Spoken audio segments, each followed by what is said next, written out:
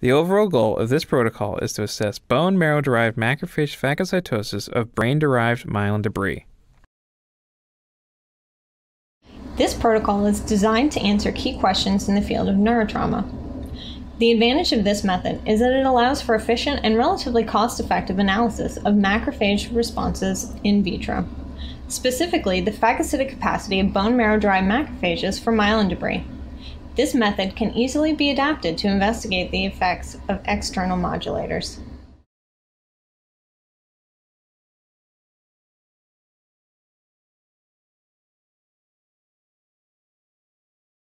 Having saturated the mouse with 70% ethanol, make an opening in the abdominal skin.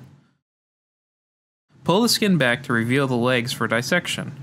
Take care not to puncture the peritoneal cavity during this process.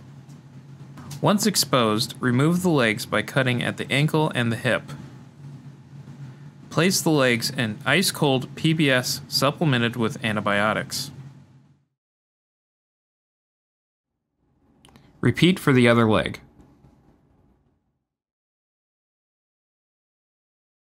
Wash the tissue in fresh ice cold PBS supplemented with antibiotics to dislodge any particulates that may have adhered to the tissue during dissection. A gentle scraping motion applied along the muscle will dislodge a majority of the unwanted tissue. With a scalpel and tweezers, free the tibia from the muscle and connective tissue. Once freed, remove both ends to expose the marrow cavity.